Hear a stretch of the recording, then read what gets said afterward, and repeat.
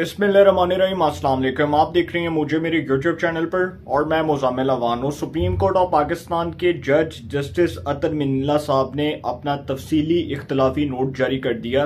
और ये तफसीली इख्तलाफी note Chief Justice of Pakistan, Justice Umar Ata Bandial साहब के खिलाफ एक चार्जशीट है। ये उनके खिलाफ फैसला है, ये उन जजेस का फैसला है, जिन जजेस ने उन पर अदम तमाद कर दिया है। और चीफ साहब जो अब तक ये समझ कर बैठे हुए थे कि शायद ये साकिब निसार की तरह ये डालते हैं कि ये बहुत आसानी के साथ जो है, जो फैसले देंगे और उसको कोई भी कबूल कर लेगा और आँखें बंद करके उसको तस्लीम कर लिया जाएगा। तो बेसिकली जो जस्टिस अतर मिनिल्ला साहब का जो तफसीली इख्तलाफी नोट आया, ये बहुत ख़तरनाक है। मैं ये समझता हूँ कि ये बहुत ख़तरनाक है Justice Mansoor Ali Shah. Justice Yahya Afridi, Justice Jamal Khan Mandokhel, वो भी इस बेंच का हिस्सा थे। लेकिन उन्होंने इतनी खौफनाक बातें नहीं की जितनी जस्टिस अतर मिनिल्ला साहब ने की और जिन खदशात का उन्होंने ज़िक्र किया और जिन खदशात का उन्होंने इजहार किया, ये एक समझ लें कि चार्जशीट है चीफ जस्टिस साहब के अपने कोर्ट ऑफ़ कंडक्ट के ऊपर जो इल्ज़ाम लग रहे हैं, ये उसके खिलाफ एक चार्जशीट है। अब ये जो इल्ज़ाम हैं, इन इल्ज़ाम को अगर एक साइड पर रखा जाए तो इस केस को अगर मैं डिस्कस करूँ तो सबसे पहले ये case Supreme Court of Pakistan में, जो एक रेफरेंस वाले जज हैं जस्टिस मुजाहिर अकबर नकवी साहब, वो इस केस में Chief Justice of Pakistan Justice Umar Ata Bandial साहब को नो रुकनी बेंच बनने से पहले कहते हैं कि जी आप इस पर आज खुद नोटिस लें। आप इस पर सो मोटो लें। और चीफ साहब जो हैं जी, उनको ये बहाना बनाकर दिया जाता है जस्टिस मुजाहिर अकबर नकवी साहब की जानब से कि जी, इलेक्शन कमीशन जो है, वो अफसरान के तबादले कर और आप सबको शायद याद है कि ये केस तब ही शुरू हुआ था सुप्रीम कोर्ट ऑफ़ पाकिस्तान में, जब सीसीपीओ लाहौर गुलाम महमूद डोगर तबादला केस सुप्रीम कोर्ट में आया तो उसके ऊपर जी सुप्रीम कोर्ट ऑफ़ पाकिस्तान का नो रुकनी बेंच बना, और उसी केस में यही बात के जी उनके जो ट्रांसफर्स और पोस्टिंग हैं सरकारी अफसरान की, उसमें सीसीपीओ लाहौर गुलाम महमूद डोगर का ये बहाना बनाया गया कि जी उनको जी चूँकि इलेक्शन कमीशन जो है उनकी ट्रांसफ़र और पोस्टिंग करना चाह रहा है, लिहाजा इस पर खुद नोटिस ले लिया जाए। ये अज खुद नोटिस जो है, इस पर नो रुकनी लार्जर बेंच बना, दो जजेस जस्टिस एजाजुल हसन और जस्टिस मुजाहिर अकबर नकवी पर अदम अतमाद हुआ। दोनों को खुद को बेंच से लदा करना पड़ा। जस्टिस याया फरीदी और जस्टिस अतर मिनिल्ला पहले फैसला देकर इस बेंच से अलहदा हुए। उसके बाद फिर ये पाँच रुकनी बेंच बचा। और फिर ये जो पाँच रुकनी बेंच था, इसमें जस्टिस मंसूर अली शाह और जस्टिस जमाल खान मंदोखेल ने अपना फैसला दिया और फिर यही समझा जा रहा था कि जी सुप्रीम कोर्ट उस टाइम यही कह रही थी। तीन जजेस, जस्टिस उमर अता बंदयाल साहब, जस्टिस मुनीब अख्तर साहब उस टाइम यही कह रहे थे कि जी ये तो जो है वो तीन दो का फैसला है, तीन दो का फैसला है और एक जस्टिस मोहम्मद अली मजहर साहब थे आई थिंक इनके साथ उस टाइम उस बेंच में। तो उस टाइम यही कहा जा रहा था कि जी, ये तीन दो का फैसला है। फिर जस्टिस जो हमारे बड़े ऑनरेबल जज हैं जस्टिस जमाल खान मंदोखेल साहब, उन्होंने कहा कि ये चार तीन का फैसला है और ये चार तीन के तनासब से अस खुद नोटिस खारिज हुआ। असखुद नोटिस केस था सीसीपीओ लाहौर गुलाम महमूद डोगर तबादला केस, जो उसकी ट्रांसफ़र और पोस्टिंग का केस था, वो सुप्रीम कोर्ट में गया। उसके बाद ये जब फैसला आया तो सुप्रीम कोर्ट ने इसकी ऐसे तशरी की कि जी, ये तीन दो का फैसला अब चूँकि ये फैसला डिसीज़न जो है वो आ चुका है, तमाम जजेस ने इस पर अपनी राय का इजहार कर दिया, तमाम जजेस ने अपना फैसला रख दिया अब ये कहा जा रहा था कि जस्टिस जो अतर मिनिल्ला साहब हैं, वो जब अपना फैसला देंगे तो पता चलेगा इस केस का फैसला क्या लिहाजा जी उनका फैसला आ चुका है। अब ये चीफ जस्टिस के खिलाफ एक चार्जशीट है और Chief Justice of Pakistan Justice Umar Ata Bandial साहब जो हैं उनको शायद अब ये बात समझ आ जाएगी कि ये जो पाकिस्तान में आइन और कानून है, इसको अगर अपनी मर्ज़ी के अपनी मर्ज़ी से मुसलत करने की कोशिश की जाएगी, अपनी मर्ज़ी के कवानीन बनाने की कोशिश की जाएगी एग्जेक्टिव के पार्लिमान के मामला में मुदाखलत की जाएगी, पार्लिमान के मामला को, पार्लिमान की अथॉरिटीज़ को चैलेंज किया जाएगा, और कोर्ट जो है, अदालत जो है, वो पार्लियामेंट को उसके असल इख्तियार जो है वो नहीं उस पर बात करने देगी और उसके असल इख्तियार जो हैं वो नहीं हासिल करने देगी। तो फिर सर मामला इस नहज पर आएँगे और आपके सामने यह मामला के मामला कितने ख़राब हो रहे हैं। और मैं समझता हूँ कि पाकिस्तान में कानून को, आइन को पढ़ने वाला, देखने वाला, उसको करीब से देखने वाला और पाकिस्तान में आइन और कानून को बहुत अच्छे तरीके से समझने वाला, अब ये समझता है कि Chief Justice of Pakistan Justice Umar Ata Bandial साहब अपने अहदे पर रहने का इखलाकी जवाब खो चुके हैं। वो अपनी मॉरल वैल्यूज़ खो चुकी हैं कि वो बतौर चीफ जस्टिस ऑफ़ पाकिस्तान इस पाकिस्तान की अदालत उज़मा को सबसे बड़ी अदालत सुप्रीम कोर्ट को बतौर चीफ जस्टिस सर्व करें। वो अब ये इखलाकी जवाब खो चुके हैं। अब ये जो अतर मिनिल्ला साहब ने फैसला दिया है, ये जो इख्तलाफी नोट है, ये इख्तलाफी नोट तो सर बहुत ख़तरनाक है। और अगर मैं इसके पॉइंट्स को डिस्कस करूँ आपके सामने इसके पॉइंट्स को रखूँ और डिटेल के साथ बात करूँ तो आपको भी समझ आएगी, मेरे देखने वाले तमाम व्यूवर्स को भी समझ आएगी कि मैं असल पॉइंट क्या डिस्कस कर रहा हूँ और असल बात है क्या। ये जो सर अतर मिनिल्ला साहब ने बंदयाल साहब की बदयांती से पर्दा उठाया बेसिकली उन्होंने कहा है कि कमेटी रूम चाय की मेज के ऊपर हमने डिस्कस किया था कि बेंच बनेगा तो मैंने कहा कि मैं इस बेंच में शामिल होऊँगा। ये जो उनका तफसीली इख्तलाफी नोट है, ये मैं आपको पढ़कर सुना रहा हूँ।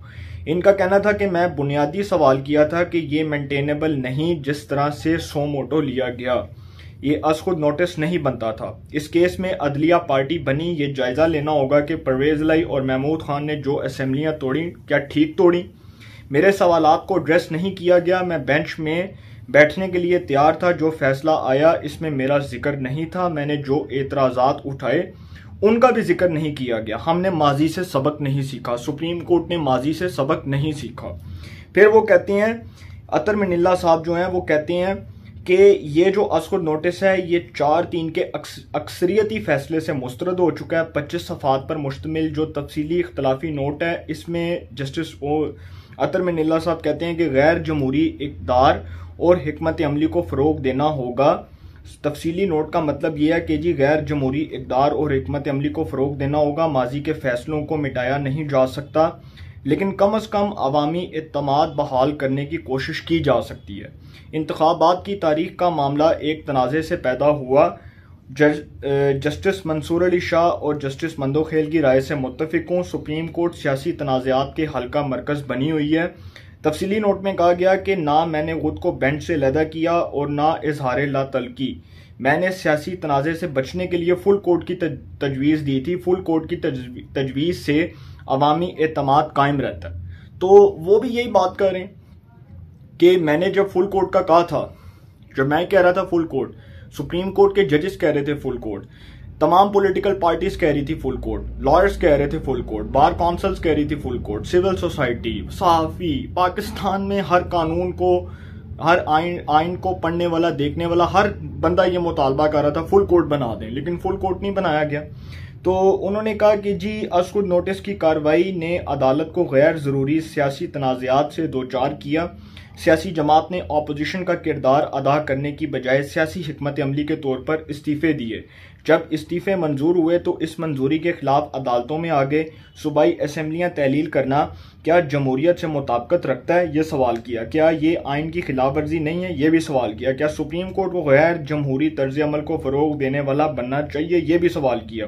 क्या सुप्रीम कोर्ट खुद को सियासी हमत अमलियों को आगे बढ़ाने के लिए इस्तेमाल करने की इजाज़त देती है, ये भी सवाल किया सर, इसका मतलब ये है कि ये फैसला चीफ साहब के खिलाफ चार्जशीट है और ये फैसला बहुत ख़तरनाक फैसला आया और जस्टिस हमारे जो बड़े ऑनरेबल जज हैं, जस्टिस सतर में निल्ला साहब, उन्होंने जिन चीज़ों को एड्रेस किया अब इसका जवाब जस्टिस उमर अताब अंदयाल साहब को देना पड़ेगा। मेरी अभी एक सहाफ़ी दोस्त हैं, उनसे बात हो रही थी। तो वो कोर्ट रिपोर्टिंग करते हैं कोर्ट की बीट कवर करते हैं तो वो मुझे बता रहे थे कि इस वक्त जजेस जो हैं, वो जजेस समझते हैं कि जो सुप्रीम कोर्ट में एक लाइक माइंडेड सोच है, उसको किस तरह से ख़त्म करना है, और ये जो किसी की मोहब्बत में जो फैसले हो रहे हैं, ये जी कभी एक बेंच बन गया, तीन रुकनी बन गया, पाँच रुकनी बन गया, फिर वो लार्जर बेंच बना दिया, फिर वो हम ख्याल जजेस को बिठाकर, कभी जस्टिस फायद ईसा साहब के केस का जो फैसला है उसको खारिज कर दिया, उसको मुस्तरद कर दिया, कभी तीन रुकनी बेंच बैठ जाता है, फिर वो बैठ कर जब तमाम पोलिटिकल पार्टीज़ इस बात का मुतालबा कर रही हैं कि जी फुल कोर्ट बना दे तो जी फुल कोर्ट नहीं बनाना तो सर मामला जो है वो यहाँ से ख़राब हुआ। अभी तो मैंने अतर मिनिल्ला साहब का जो तफसीली इख्तलाफी नोट है, उसके मेन पॉइंट्स जो हैं वो आपके सामने डिस्कस किए अगर आप इसको पूरा पढ़ेंगे तो आपको बहुत डिटेल से इसकी समझ आ जाएगी और आपको पता चल जाएगा इसमें असल किन चीज़ों को पॉइंट आउट किया गया। किन चीज़ों को डिटेल से एक्सप्लेन किया गया, किन चीज़ों के ऊपर बड़ी तफसील के साथ रोशनी डाली गई और किन चीज़ों का हवाला दिया गया। अगर आप इसको पढ़ेंगे तो आपको बड़ी डिटेल से ये सारा जो है वो तफसीली इख्तलाफी नोट समझ आ जाएगा। लेकिन अब चूँकि मुतालबात जब हो रहे थे और तमाम पोलिटिकल पार्टीज़ कह रही थी कि जी फुल कोर्ट बना दें फुल कोर्ट बना दें तो फुल कोर्ट नहीं बनाया गया। अब चीफ साहब जो हैं, उनके लिए एक नई परेशानी ये खड़ी हो गई है कि जो हमारे सहाफ़ी दोस्त हैं, उन्होंने बताया कि जो कोर्ट रिपोर्टर्स हैं, उनको चूँकि अंदर की खबर मिल जाती है और वो इस खबर को बहुत वो जो है, वो बड़ा, आप समझ लें कि बड़ा एक मोहतात अंदाज में इस खबर को ब्रेक करते हैं। तो वो खबर ये है कि जी जस्टिस उमर अता बंदयाल साहब के ऊपर ये प्रेशर डाला जाएगा Chief Justice of Pakistan, Justice Umar Ata Bandial साहब, जो अदालत उजमा के, सुप्रीम कोर्ट के, पाकिस्तान की सबसे बड़ी अदालत के सरबराह हैं, उन पर यह प्रेशर डाला जाएगा कि वो रिजाइन कर दें, वो स्टेप डाउन कर दें, क्योंकि वो वो जो उनकी क्रेडिबिलिटी है, वो बतौर एक जज के तो बड़ी बुरी तरह मुतासर हो गई है। उनकी साख जिसको बहाल करने की अब ज़रूरत है, वो अब शायद बहाल ना हो सके, क्योंकि जिस तरह साकिब निसार ने वो जो कंट्रोवर्शियल किस्म के जजमेंट्स दिए। जस्टिस हासफ सईद खोसा ने कंट्रोवर्शियल किस्म का जजमेंट दिया। नवाज़ शरीफ साहब की नाहली से मुतलिक जस्टिस गुलजार ने कंट्रोवर्शियल किस्म का जजमेंट दिया। उसके बाद ये जो मुतनाज़ फैसले हैं, इससे जजों की शहरत ख़राब हुई। जजों की शहरत के ऊपर इल्ज़ाम लगे। और अब जब जस्टिस उमर अता बंदयाल साहब जो हैं उन्होंने ये एक रवायत बना ली थी कि जी, वो तीन रुकनी, पाँच रुकनी बेंच बैठे और फिर वो जिस तरह से सुप्रीम कोर्ट में उन्होंने अपने ख्याल का, अपने खदशात का इजहार किया कि जी, हमारे भी जज्बात हैं, हमें भी, हम भी रो पड़े, हमें भी आँसू आ गए। तो सर, सबसे पहले तो ये चीज़ डिस्कस कर लें कि क्या एक ऐसा फोरम जो सबसे बड़ी अदालत है, क्या उसके अंदर तमाम जजेस को बैठकर फैसला करने का इख्तियार हासिल नहीं है? सवाल तो ये बनता है कि क्या तमाम जजेस जो हैं सिर्फ़ उनमें से तीन या पाँच जजेस ही फैसला करेंगे मुल्क के मुस्तबिल का और मुल्क में जो केसेस हैं, उनका फैसला सिर्फ़ तीन या पाँच रुकनी बेंच ने करना है। ये एक सवाल है। लेकिन यहाँ पर चूँकि वो जो सवाल है, उसका जवाब ना तो तीन रुकनी बेंच ने देना है, ना ही जस्टिस उमर अताब बंदयाल साहब ने देना है। तो मैंने उनसे पूछा, साफी दोस्त जो है, मैंने उनसे पूछा कि आगे क्या होने जा रहा है। तो उन्होंने कहा कि अगर उमर अताब बंदयाल साहब बतौर सुप्रीम कोर्ट चीफ जस्टिस के अहदे के इस्तीफा नहीं देते तो इसका मतलब कि रेफरेंस तैयार रेफरेंस आएगा सुप्रीम जुडिशल काउंसिल में, और जो रेफरेंस आएगा उसके ऊपर समात होगी, और जब वो समात होगी तो जस्टिस उमर अताब बंदयाल साहब बेंच में बैठने का अखलाकी जवाब भी खो देंगे। क्योंकि आप सबको शायद याद होगा कि जो जस्टिस काजी फायज ईसा का रेफरेंस था, उस वक्त तो ये चीफ जस्टिस साहब के आँसू नहीं निकले। उस टाइम तो रोना नहीं आया। इसलिए क्योंकि उस वक्त वो मुखालिफ जज थे। और सर ये सारा कुछ हो क्यों रहा है? ये मैं आपको बताता हूँ। ये बेसिकली एक ऐसा प्लान जो मुझ तक ये खबर मिली, मुझे मेरे साथी जराए से मिली। वो खबर ये थी कि इमरान खान साहब की मोहब्बत में जो अब तक फैसले हो रहे थे, कभी बेंचेस मान जाते हैं, कभी दरखास्तें मंजूर हो जाती हैं, कभी उनको जो है वो फेवरिज्म मिल जाती है, कभी उनको जमानतें मिल जाती हैं, कभी उनके जो खिलाफ जो दरखास्तें हैं उसको खारिज कर दिया जाता है, कभी कहा जाता है। कभी कहा जाता है कि जी वो जो टेरियन उनकी बेटी थी, वो जी हो सकता है वो जज साहब, एक जस्टिस मोहसिन अख्तर की यानी मैं हैरान हूँ ऐसे इस्लामाबाद के एक जज साहब हैं। उनकी जो है, वो अक्ल के ऊपर मैं समझता हूँ कि शायद पर्दा पड़ गया, बहुत इज़्ज़त के साथ बात कर रहा हूँ। और वो फरमाते हैं कि जी, वो हो सकता है कि इमरान खान साहब जो हैं, वो टेरियन जो उनकी बेटी है, उसका ज़िक्र करना भूल गए अपने कागजात नामजदगी में। मतलब सर, जब जज साहब ही इस किस्म के सियासी रिमार्क्स देंगे तो आप ये एक्सपेक्ट कर सकते हैं कि उस केस का फैसला क्या आएगा? उस केस का तो फिर खाना ही खराब होगा ना? तो जब इस किस्म के फैसले आएँगे कि जी, एक अक्सरियती फैसला आ गया कि चार तीन के तनासब से असखुद नोटिस खारिज हो गया। तो फिर वो तीन रुकनी बेंच बन गया। इसका मतलब कि फिर पार्लियामेंट जो है वो तो सुप्रीम इदारा ना? तो पार्लियामेंट ने तो लेजिस्ट्रेशन करनी है, कानून साजी करनी है, पार्लियामेंट ने ही कवानीन बनाने हैं, पार्लियामेंट ने ही अपने कवानीन को, अपने जो है वो इख्तियार को इस्तेमाल करना है। पार्लियामेंट वो एपलेट फॉरम है जहाँ पर पॉइंट ऑफ़ डिबेट भी होता है, जहाँ पर लेजिस्ट्रेशन भी होती है, जहाँ पर अरकान असम्बली जो हैं, उनके राइट्स की बात होती है, जहाँ पर इस कौम की, इस रियासत की बात होती है तो फिर पार्लियामेंट तो अपना इख्तियार इस्तेमाल करेगी। जब पार्लियामेंट को ही इख्तियार नहीं दिया जाएगा, जब पार्लियामेंट के इख्तियार के ऊपर जरब लगाने की कोशिश की जाएगी, जब पार्लियामेंट के इख्तियार को मुट्ठी में बंद करने की कोशिश की जाएगी, जब पार्लियामेंट के इख्तियार को महदूद करने की कोशिश की जाएगी तो सर रोला तो पड़ेगा। और वो रोला इसीलिए शुरू हुआ, ये बेसिकली सुप्रीम कोर्ट का जो फैसला है, इसमें आर्टिकल 63 ए का जो वो फैसला आया था, उसका भी जस्टिस अतर मिनिल्ला साहब ने अपने फैसले में ज़िक्र किया और उन्होंने कहा कि ये जो सारा सियासी तनाज़ा खड़ा हुआ, ये आर्टिकल 63 ए के फैसले की नज़र में हुआ जो मौजूदा बहरान है, जिसको इस अदालत उजमा का सबसे बड़ा बहरान करार दिया जा सकता है कि आर्टिकल 63 ए का फैसला और उसमें जो एक जजमेंट है, जो उसमें एक डिसीज़न है, जो मोस्ट कंट्रोवर्शियल जजमेंट है जस्टिस मुनीब अख्तर साहब की, जिसमें वो कहते हैं कि जी, पार्लिमानी हेड पार्लिमानी हेड पार्लिमानी हेड मुझे नहीं समझ आती कि कहीं पे पार्लिमानी हेड का ज़िक्र है। और कहीं पर आइन के आर्टिकल कॉन्स्टिट्यूशन के आर्टिकल 63 ए के अंदर पार्लिमानी हेड का ज़िक्र हुआ? कहीं पर यह फैसला हुआ कि पार्लिमानी हेड जो कहेगा उसकी डायरेक्शन के ऊपर उस पार्टी का जो रुकने असेंबली है, वो चलने का पाबंद होगा। मतलब मेरी समझ से ये चीज़ बाहर है यार, कि एक फैसला आया और वो फैसला ये आया कि जो चार तीन का फैसला है, वही कबूल होगा, लेकिन नहीं, अंपायर हमने अपने खड़े कर दिए। हमने सही बॉल को नौ बॉल करार दे दिया। हमने आउट को नो बॉल करार दे दिया और कहा कि जी, ये बंदा आउट नहीं है। और फिर हमने अपनी मर्ज़ी के फैसले मुसलत कर दिए कि जी, नहीं, चार जजेस जो हैं वो उनका फैसला गया रद्दी की टोकरी में। हमने बना लिया तीन रुकनी। और देखें जी, चीफ साहब की बदयांती मुलायजा फरमाएँ कि दो जजेस जस्टिस मुनीब अख्तर और जस्टिस एजाजुल हसन जो अब तक के, मैं समझता हूँ, मैं समझता हूँ कि अब तक के वो सबसे ज़्यादा इल्ज़ाम की जद में आने वाले जजेस हैं कि जिनके फैसले नहीं, जिनके बेंचेस में बैठने से उनके जो है वो तासुब के ऊपर सॉरी उनके किरदार के ऊपर बात होती है और ये कहा जाता है कि जी वो तासुब से भरे फैसले जारी करते हैं, वही जजेस को बिठाकर तीन रुकनी बेंच बना दिया जाता है। तो जब पाकिस्तान की तमाम पॉलिटिकल पार्टीज़ बार काउंसिल्स उसके बाद जी वकला बरादरी सब ये कह रहे हैं कि जी ये मोस्ट कंट्रोवर्शियल डिसीज़न होगा और फैसले से पहले कह रहे हैं बेंच बनने से पहले कह रहे हैं।